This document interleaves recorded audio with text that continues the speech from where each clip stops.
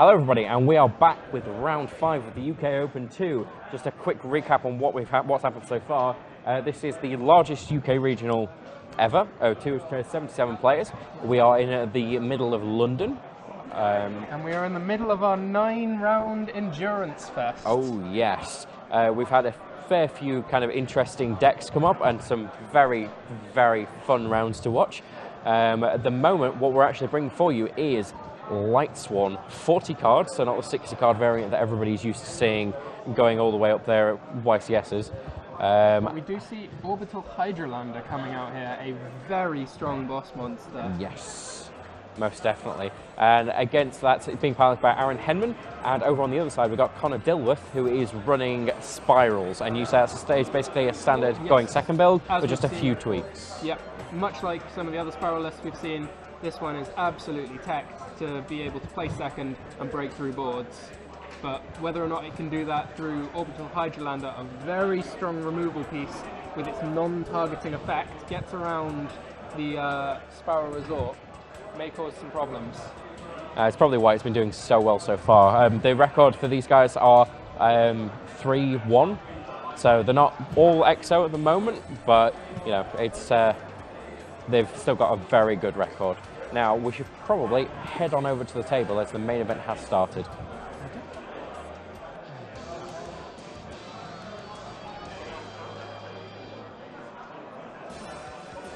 Okay, and they've just started. Photon Thrash has come down. Uh, we've got a charge of the Light Brigade. That was two gold socks and a solar recharge. whiffed a bit on those mills, but he's got a very strong hand here with uh, Thrasher, Charge, Recharge, and a Wolf already in hand to discard, and a Hydralander backing it up. So if he can hit some monsters, we'll see that Hydralander coming down, and that will really control the game very effectively. So far, we've only made it up to two different monsters in the graveyard. So I'll be hoping to hit some more with the Raiden effect here. There's a Maxi, and there is a Droll Nutbird. So we've now made it to four different names of effect monsters. At this point, anything that he does to put an additional monster in the grave will allow him to get that Hydralander onto the board. Oh, and that looks like it's an Xyz summon of a Minerva. Likely Minerva. Of course, he's hoping to find a Snow here, Oh, and a Wolf. and a Felis. And a Felis. Both That's- will trigger, and he'll draw three cards. That is absolutely fantastic mill there. And with the Lila, he'll now be able to summon the Hydralander from his hand as well.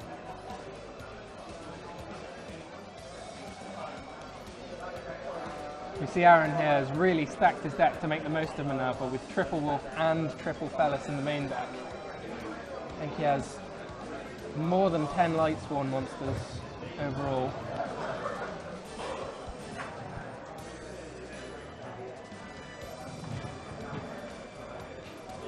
Total of Brigade. 11 Light Sworn monsters in the 40 card deck, so more than a quarter of the deck. Charge of the Light Brigade hits two Goblindberghs and a Photon Thrasher. So he may have just caused himself a little bit of problem there, in that he now has two Goblindberghs in the grave, which will mean that his Hydralander effect would be negated if he used it. So to summon, you have to have five unique monsters in the graveyard, and to use the effect, you have to have uh, at least three different monsters in the grave on resolution, and none that have the same names. Right. So if he uses the effect and mills a snow for the cost, he will be able to chain that snow effect to sort out his graveyard. But if not, he won't be able to destroy anything with it at all. Okay, so Tough comes down, and he's declared monster there, so Felis is gone. And it was a Wolf on top of deck. Okay.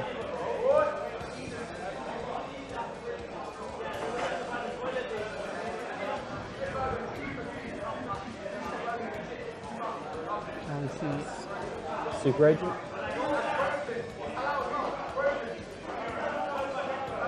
Link into. Was he not able to? Was it a special summon of the Super Agent?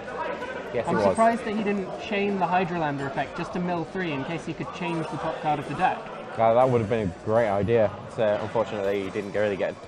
Didn't didn't Has he, really already, do it there. he hasn't already used the Hydralander effect this turn, has he? I don't believe he has. I've not seen it being used at all.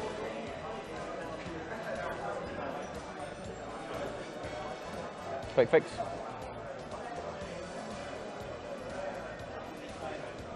Quick fix effect. There's a big red.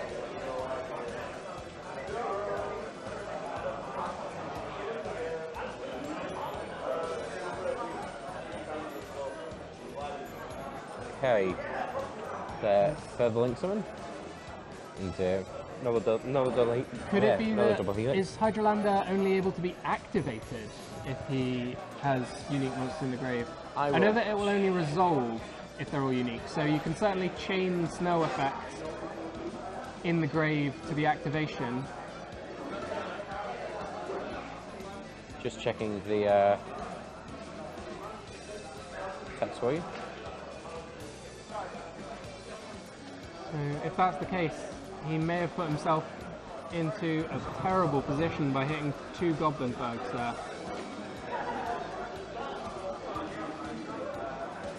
Uh, still activate and resolve. Okay. So he hasn't missed the Hydralander, he's just not able to use it. Yeah. Put himself in quite a bad position. He's sent so many cards to grave, but we haven't seen a single Fairy Tail Snow, so he hasn't been able to solve that problem. Here we see what the SPYRAL deck has been doing all day. If it's uncontested, it will just summon a bunch of stuff and kill you. Do we have any uh, hand traps from Aaron in hand? I don't believe we have anything, but I can't quite see there. Uh, no, it doesn't look like there is one in there.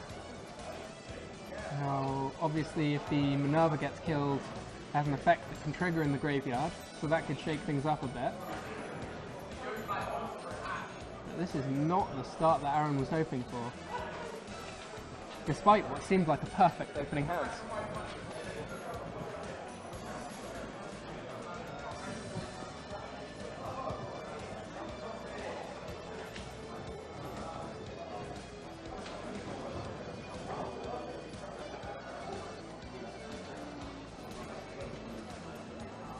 Just as we've seen in previous rounds, Master Plan really bringing home the advantage.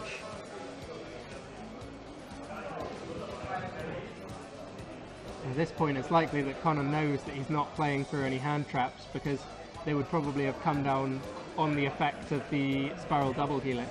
Hmm. So he's probably aware that he's got pretty much free reign to do as he pleases here.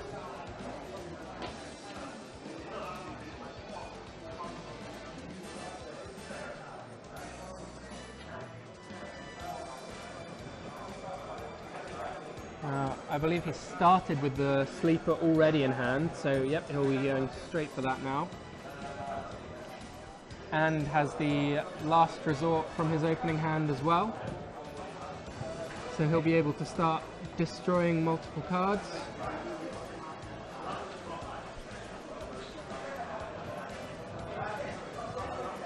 Equips the uh, SPYRAL Mission Assault, is that? Uh, it's very possible.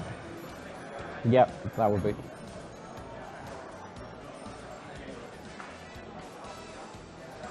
Now, we've seen a lot of that card being used to uh, summon SPYRAL monsters from the hand, but it is also an equip spell. Just check on what the text is when it's equipped. Uh, once per turn, if your SPYRAL monster you control destroys a monster by battle, or if you destroy a card on the field with a SPYRAL monster's effect you control, you can draw one card. Okay, so he will have gained the effect there by using the SPYRAL sleeper effect. Mm-hmm. And then it's just you can, if this is sent to the graveyard, touch someone's SPYRAL monster from your hand. Okay, And it does go to the graveyard for the third end phase after activation. okay. But most of the time the games that we're seeing aren't lasting that long anyway, so No. shouldn't make a great deal of difference here.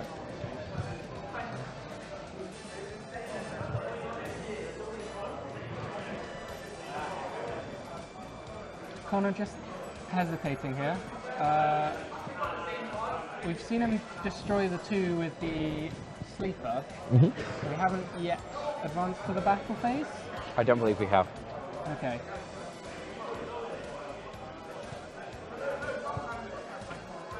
And Decode Talker is running. How many light spawns are there left? We saw the wolf on the top of the deck already.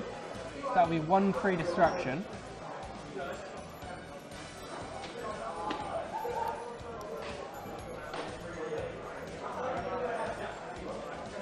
Card will he choose to get rid of? What would you choose? Well, the sleeper won't be destroyed because of the effect of last resort. Mhm. So yeah, instead, he's gone for the last resort itself.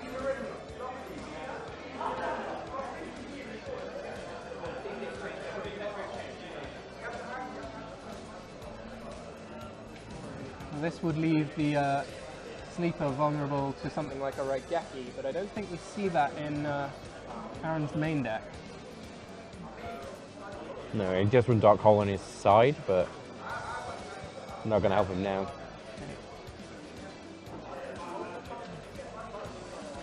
So he'll have summoned the wolf and have that die to the SPYRAL sleeper.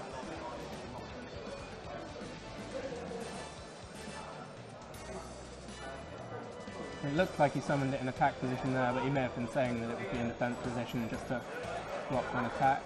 Yeah. Uh, although the life points don't seem to suggest that. The Decode Talker's at 2,800, so that would have done 800 damage over Minerva. And then the Sleeper appears to have done another 700 over the Wolf. Hmm. Perhaps Wolf summons only in attack position. It's I not believe it I've actually does. ever come up against, because rarely a card that you'd ever want to summon in defense position anyway. This is true. See the Lumina coming down here. Now the Sleeper is still going to be able to interrupt this turn, but it isn't going to be able to do so in the same costless way that it usually would when it's equipped with the last resort. Uh, it's uh, can be summoned in attack or defense position. Okay.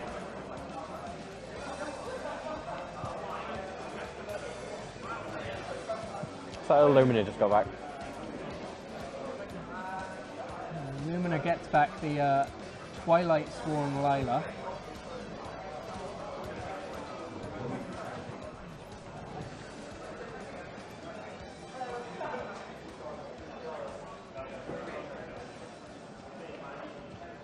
Okay, Quik-Fix. Uh, Sleeper effect to destroy the Banished, yeah. Quick Fix and the uh, two Light Sworn monsters there. foolish burial. Snow There's will be the sent snow. to the graveyard. Not the best situation for Snow here. It will be able to block a few attacks, but with the SPYRAL Resort on the field, it won't be able to target anything with its effect when it gets summoned. SPYRAL cards can't be targeted, and Decode Talker can't be put to face down defense position. But he's put it in there so that he can start protecting his life points. Yeah, certainly. But uh, protecting life points is one thing, and finding a way back into the game is quite another. I'm not sure what Aaron would need to see here to get that inroad.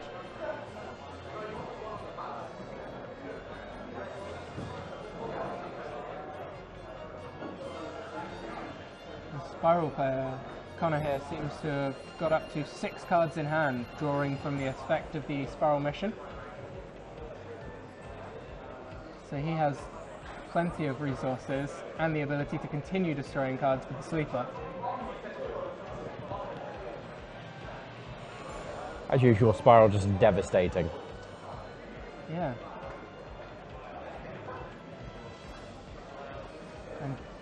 Just like game two in the previous match, we see a very strong opening hand failing to deliver.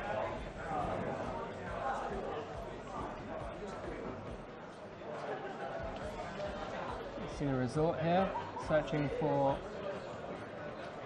another last resort. Of course, he was able to shuffle that back into the deck with the effect of the SPYRAL resort. Yep.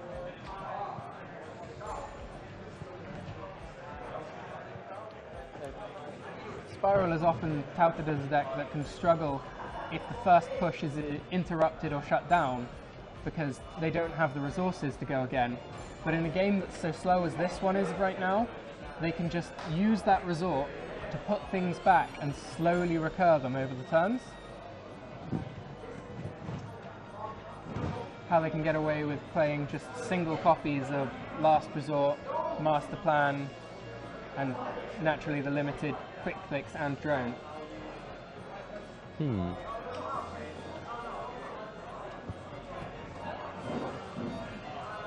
Super Agent? I don't actually think there's anything in um, Aaron's hand that can help. I know he has snow, and he just have a fair few materials for snow. It looks rather like Aaron's deck list is designed around making a push, trying to gain control of the board, and using Hydralander to keep on top of things. But having failed to get that Hydralander working in his favour in the early game, he, as we found, he couldn't activate the effect due to having two Goblindberghs. He's just slipped from that initial position that he looked like he was going to be in, and I'm not sure that he's got a way back.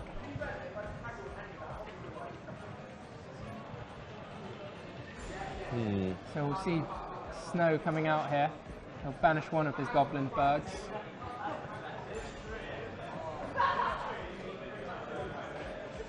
Or perhaps I not. don't believe he did, no. So he's banished hand traps here. Uh, note that in his extra deck he has um, the Bujinki Amaterasu. So his banish pile becomes a bit of a toolbox for him if he can get there. But at this point he's just trying to block and stay in the game. To be honest, just going to run him out of resources very, very quickly, and then find himself just ground down. Hmm. Again, the SPYRAL Mission continues to be drawing cards.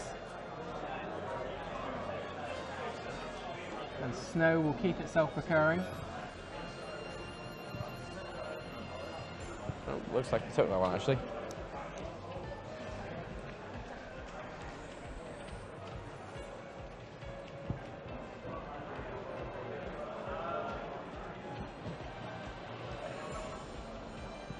There's no.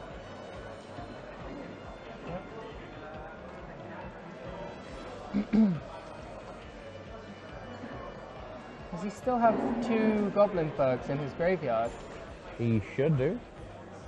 Hmm. I'm interested as to why he didn't choose to banish one of those. Uh, I was under the impression that when you're playing an Orbital Hydralander, you want to first and foremost banish the monsters from your grave that have multiple copies with the same name. Otherwise, he might find himself in a similar position to where he was on the very first turn, unable to activate that effect.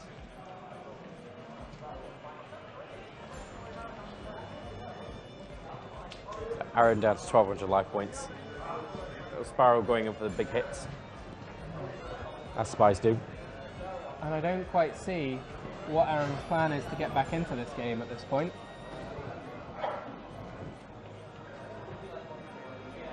Still has the snow and resources to summon it, but just summoning a level 4 monster that can't use its effect isn't going to get him anywhere fast.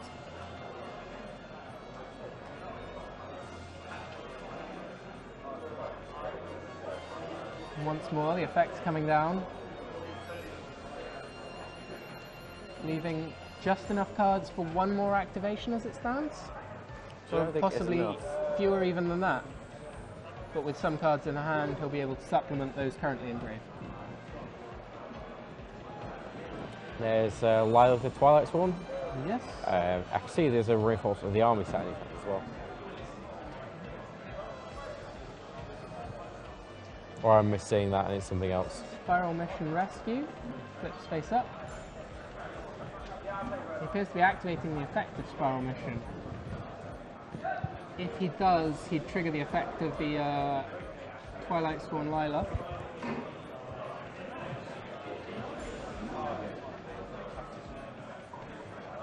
But he's negated the effect of the Twilight Sworn with the Decode Talker. Yep, Aaron's had enough, and they're going to game three. game two. Game two, sorry.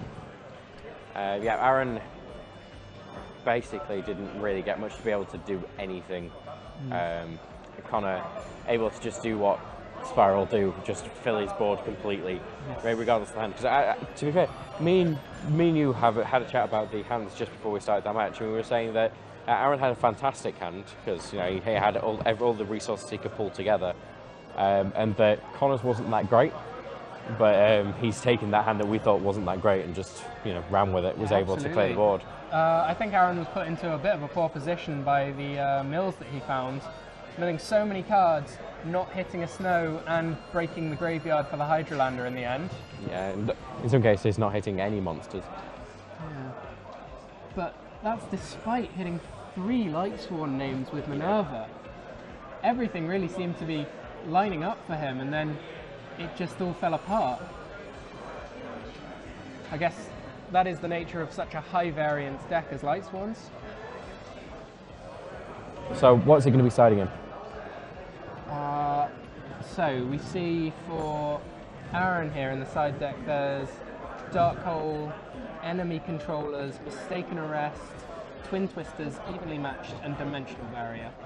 Dimensional Barrier, not a great choice here. Evenly Matched, sometimes a good selection, but the SPYRAL deck wants to go second, and Aaron will probably want to go first, so might not come in. Twin Twisters is able to take care of Resort, but if the Resort is face up, it's limited in what else it can hit because obviously other SPYRAL cards couldn't be targeted. Mistaken Arrest, very strong choice. That will shut down the uh, Resort and the Terraformings. I'm not sure about the enemy controllers. It could be an interesting choice. I suspect it's a, a tech that will have been put in for the likes of SPYRAL because I'm sure Aaron's expecting to play mostly SPYRALs. Either that or he really likes Duel Links. Now, I'm just looking over this list here for Aaron. I'm seeing a dark hole in the side deck, Yes. but I don't see a Raigeki anywhere. No, it is a good point. I'm not sure that I agree with that. Um, and over on Conner's hand, I think see that our hands are just loading in. Um,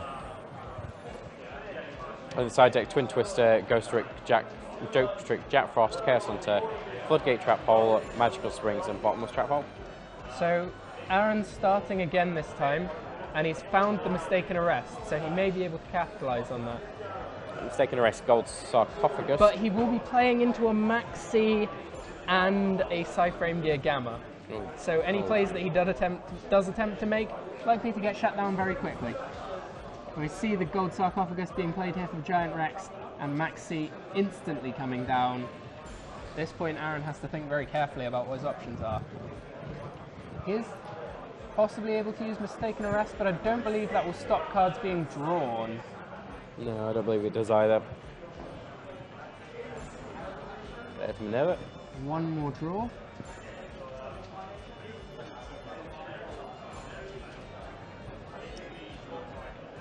Aaron has the uh, and Lockbird in hand. Perhaps he could have tried to use that to limit the number of cards that would get drawn.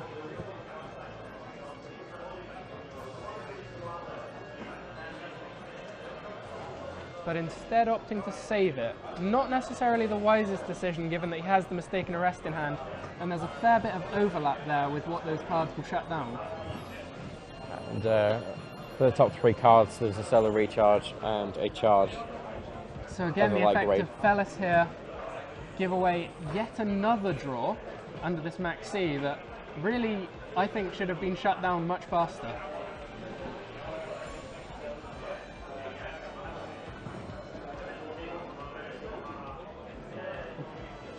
Using the effect of Felis to mill three cards here. Destroy the Gamma, but as it would have been banished at the end of the turn anyway, not necessarily getting much value there.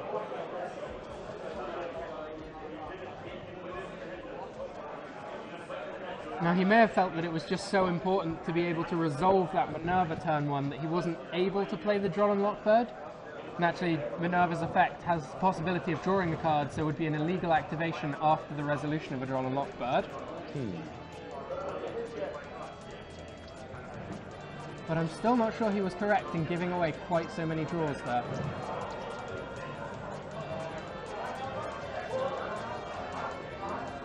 We've seen SPYRAL in this position so many times before, with a handful of cards to, well, in this case a very underwhelming board, but even against a good one, they can be shut down This all too to be, quickly. Well, what's that he's played there? It's Mistaken Arrest. It's a quick play spell card.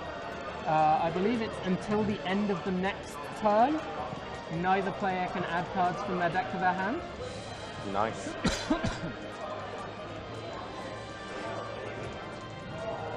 So it will shut down the terraforming here, but it will also prevent Aaron from using any effects to tutor cards from his deck during his turn as well. But depending on the cards that might have been drawn off that Max C, there may already be enough there to take the game. I think there was a there was Gofu and a SPYRAL Gear drone in the opening hand. Foolish Burial Goods comes down. What's he putting in the graveyard? Typically on turn one you'd expect the spell card, but I think that was also in his opening hand, so he'll have to send a trap.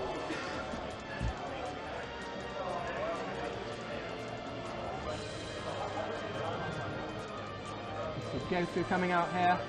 Two little flappy tokens. Yep. A free decode talker. And as we've seen in game one, Conner does remember to use the effect of his decode talker, so he will be getting better value than some. Going for a link spider.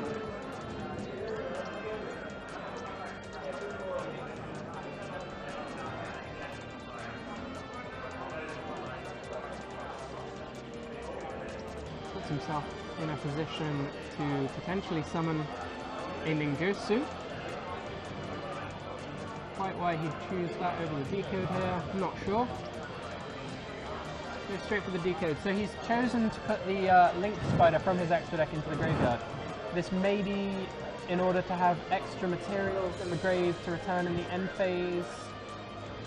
For no, no, he couldn't even use it for the SPYRAL Resort. Uh, because it has to return to the main deck. You can't return an extra deck monster. So I'm not sure why he's chosen to get rid of his Link Spider there. And that is a Soul Charge, a Goblindbergh, and a Max C that he just saw on the top of Aaron's deck there. Okay. So quite likely that Aaron will be drawing a Max C for turn. Very popular to leave your opponent drawing into a hand trap with the effective SPYRAL Drone because at that point it's already too late. Pretty much. Although if he's not able to go off effectively here, he might want to keep that Max C away from the board. As you see, he might not have access to a second SPYRAL monster.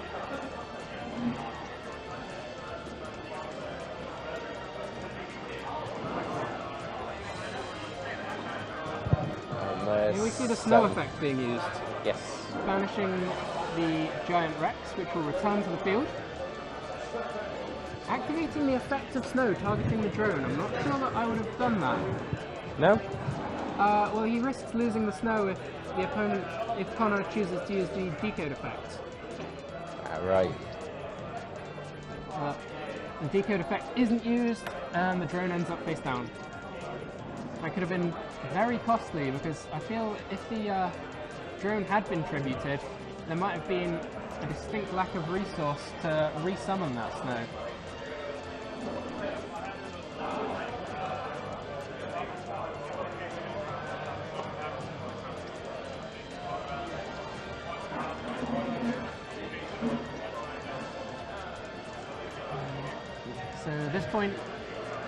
We're still under the effect of mistaken arrest.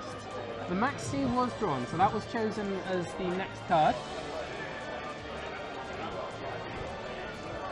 Raiden is summoned. Mills two cards. Ooh, Soul Charge and Goblindbergh. Not really what you want to see, but he also Not ideal, but it has taken away the information that the SPYRAL player had about the cards on the top of the deck. That's true. So we are back in a position where there are unknown cards in the mix, and that could result in a miss from a SPYRAL effect being activated on the next turn. There's a Synchro Summon. Uh, I believe Starlight is in hand. Oh no, he's summoned Omega. Uh, he is also playing Starlight, but this time opted for the Omega. Omega will help him recur resources from the banished with snow. And he'll be looking to banish that Rex again, just because hard wants to turn effect, he wants to get value, recurring it as many times as he can. So he'll be doing so during the opponent's turn and again on his own turn. There's the Gyrax. Oh, just to mention, uh, for you viewers at home, it's just become incredibly Surprised cold he in didn't here. attack with the uh, Giant Rex first. I don't believe it's able to attack directly. Uh, no, so Giant Rex cannot attack think directly. He might have just given up some damage potential there.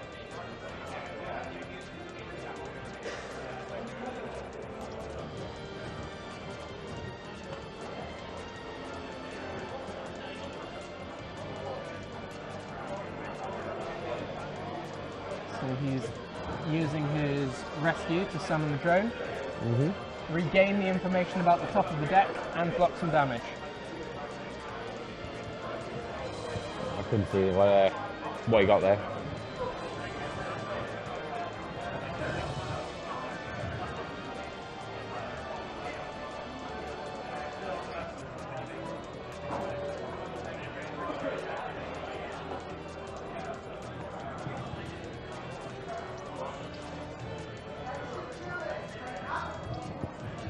So other than um, potentials like the grass is greener and things like that, what's the advantages of the 40 card deck over the 60?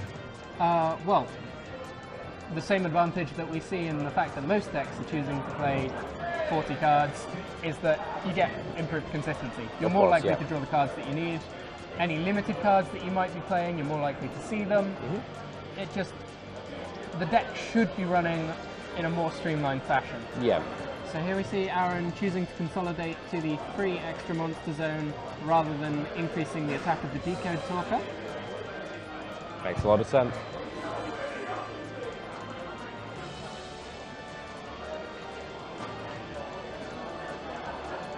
So conversely, why are people playing the 60 card version still?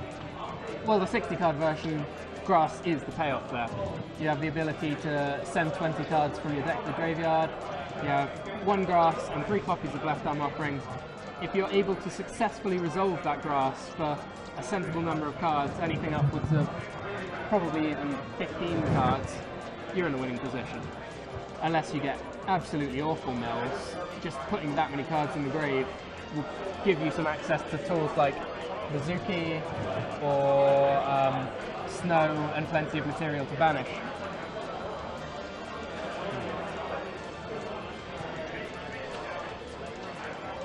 See the drone effect coming down That is three wolves? Is that three of the same card? It does appear to be three wolves. Is that... I'm to wait for the photo. Yep, that... Oh, wait, no, it's not. The middle one is two wolves and the middle one is an ash blossom. Okay. But that may put Conner in a position where he doesn't want to destroy the Minerva this turn.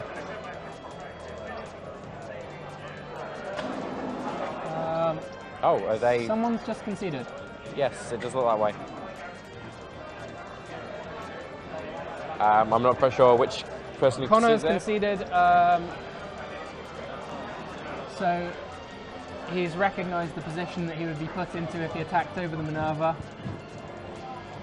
A bit surprised that he didn't try and play on. He was still at full life. Yeah. He's, uh, so uh, that would be Aaron winning game two. Yeah. Well, so further signing seems to be happening here. It will be interesting to see who plays first in this. Uh, the SPYRAL deck is obviously geared up to be playing second, but it may see some advantage in being able to make its plays before Lightsworn gets onto the board, and there's a risk of things like Orbital Hydralander interrupting things. Yes.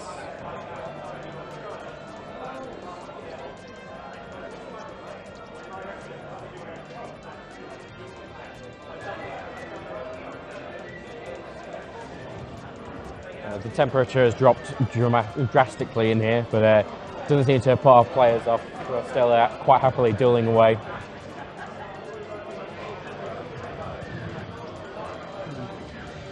We may perhaps see something like evenly matched coming in for Aaron if he expects to be playing second.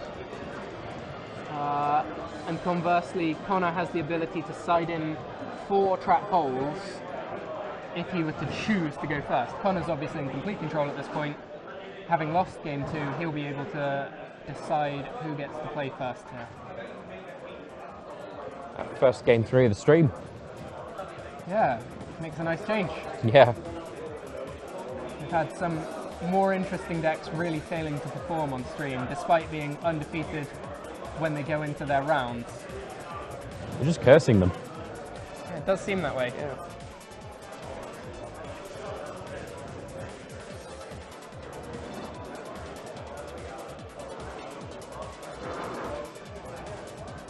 so it'll be interesting to see who'll be playing first.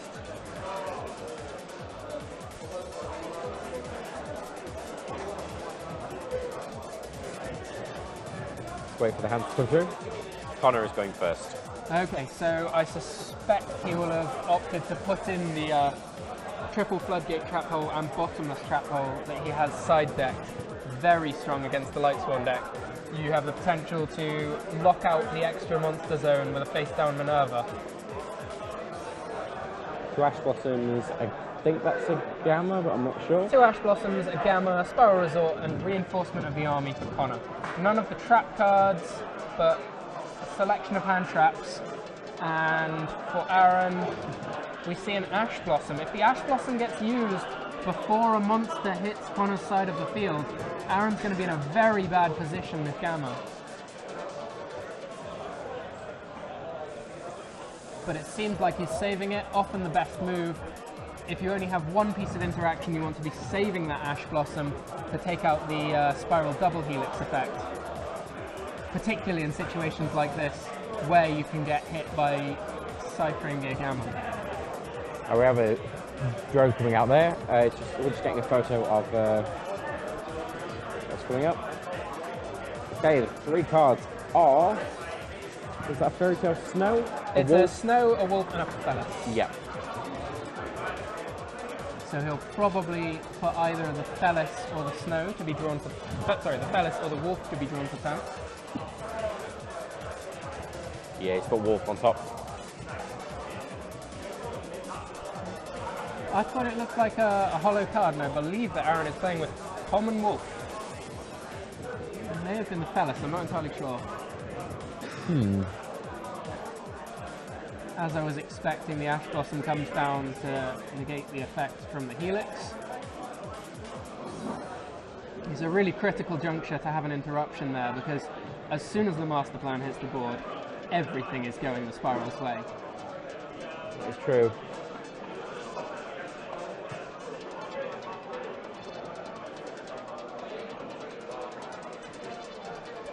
The Ash Blossom successfully puts a stop to the turn. So we'll see Aaron getting a chance to play. So yeah, he's milled the Wolf and the Snow, so the Felis must have been added to hand. Interestingly, if Conner had chosen to have the Wolf be drawn and the Felis remain on the top of the deck, it wouldn't get summoned by charge because it's only special summoned if it's grave by a monster effect. Ah. But the wolf does hit the board. And Raiden joins the hand. Now we know that there are still ash blossoms in the SPYRAL hand here. But will they be effective at shutting down any of these plays?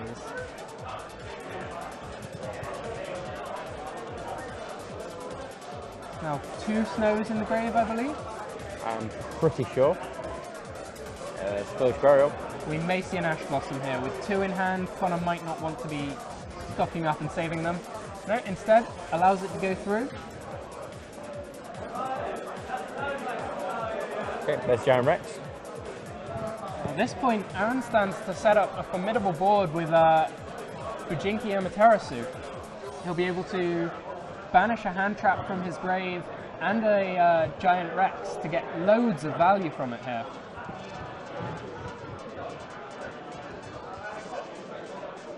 And there is the seventh Fairy Tail Snow. Gets rid of the Felis from his hand, knowing that it's not much use there. And I expect to see three of these monsters consolidated for Amaterasu. Summon back one of the banished monsters, and then be able to add back a hand trap during the opponent's turn.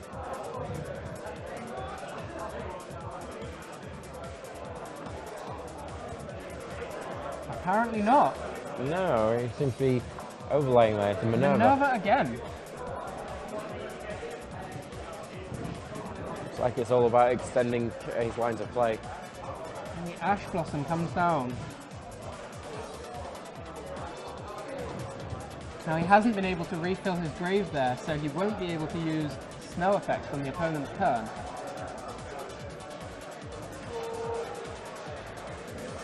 Oh, Swings in for some damage. yeah, it's quite a bit of damage as well. A reasonable amount, but not entirely significant. The most important life point is the last one. Yes. I mean, especially during um, Klee format, uh, one of my favourite quotes again from players it has been um, life points are a resource, they're only a problem where you don't have any. Absolutely. Now we've only got 40 seconds left on the round. Um, So quite worried that Aaron might have put himself into a poor position here.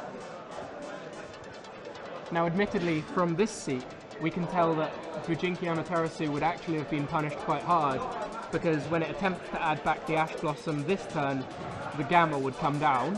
yeah. But as far as Aaron's concerned, I'm not sure that Minerva was the right choice there.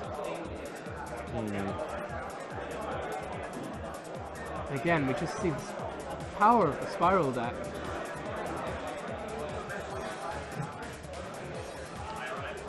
Does Aaron have any sort of interaction in his hand for this turn? Or is he entirely at the mercy of the double helix that's about to be causing him problems? Uh, It looks like he's pretty much entirely at the mercy of. Because we see the big red coming out here, and that will. See any hand traps or anything? I think he has a snow as one of his cards in hand. I'm not sure about the other. Uh, I understand he had a Lumina, and we haven't seen that yet. Yeah. So Yeah, it's a Lumina, a Snow, and a third card that I can't see. Oh, it's just two cards. we're in time on the round at this point. Okay, so that's uh, you just saw the hand of the uh, uh, Ben there, just uh, t- showing them how many how to do end of time procedure.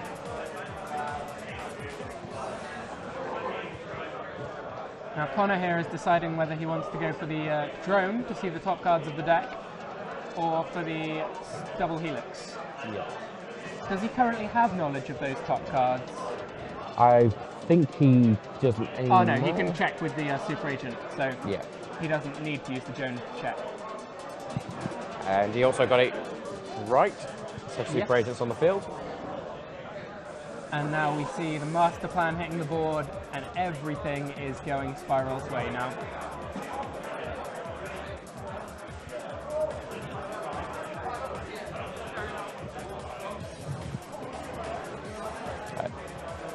If you know, Luke Withington has this thing with master plan. It's that um, when you put it in defense position, you have to put it so that its back is facing the bottom of your game mat because then it looks like she's just leaning back on a chair really far. Because if she's if you're leaning the other way, she's going to fall out. She doesn't typically stay on the board for too long, so I don't think that will be much of a problem here. So she does fall out of chair. That's what it all is. Well, given that the effect activates when it hits the grave, perhaps falling out of the chair isn't the worst thing to happen. yeah, Borreload Dragon hitting the board here. You don't need to worry about the mills when you kill the Minerva if you don't kill the Minerva. This is true. Oh, I do like Borreload Dragon. It seems to be one of those cards where a lot of people kind of criti- criticised it to me and said that, oh, they don't think that it's very strong or anything like that. But then you, it's like, it's take a monster.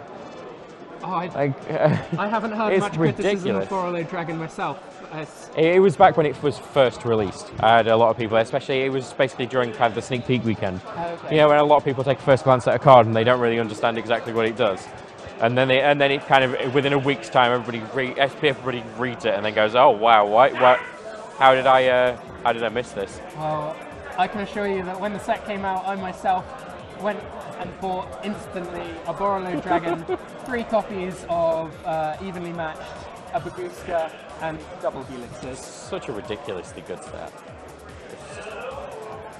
Well, certainly was necessary on release at the time. We had the full power SPYRALs, and there wasn't really anything else to compete. As we've seen so many times before, the sleeper's coming down. He has the last resort already in hand. I'm not sure that this is going to be quite 8,000 this turn, but it's going to be an insurmountable board. It is absolutely huge. So he's going to steal that Minerva, use Sleeper's effect. Was the uh, sleeper effect there used to destroy the set SPYRAL mission? I'm not too sure on that, it's very possible. It did just go to the graveyard for seemingly no reason. The Borreload Dragon attacks and takes the Minerva, He, he kind of just said, yeah, go take it. dodging the effect of when it gets destroyed. The sleeper effect can't have been used already, because it's being used now. Yep. And swing. And he's doing the math. Be 28 plus 2048 plus 19, 67. Yeah. And we don't have another 1900 attack point monster in the grave for the SPYRAL trap, do we? Um, I don't believe we do. So we might see Aaron hanging on for one more turn here, but I don't expect much of a comeback if I'm honest. As we saw in game one, the deck doesn't function very well when he gets behind. Looking at that board, there is not many ways you're going to Oh, get no, past that. we- Oh, Here we see in the grave, Yeah. there was a 1900. and there we go, and there's the handshake. Uh, let's have a quick talk about that in our post-match discussion.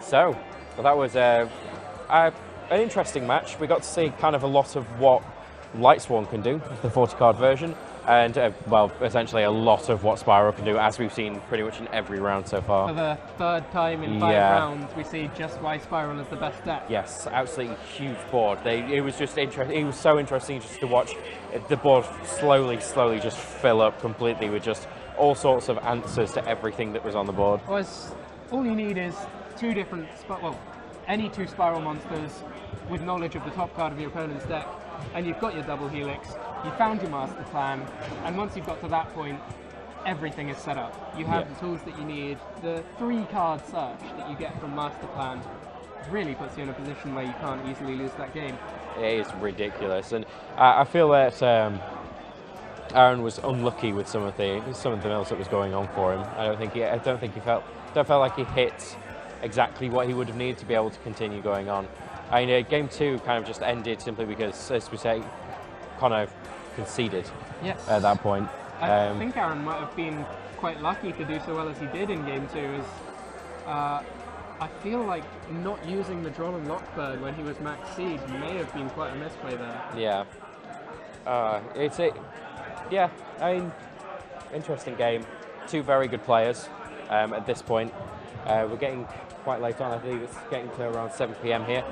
Um, we're only just into round five of Four nine. rounds left to yeah, play. we still have four rounds left to play, so we are going to be here for a long time. We have just gone to, to time on the main event as well, but I can see that quite a few people are still playing, so we should be able to get an interview through. Um, so we'll be back very, very soon with an interview.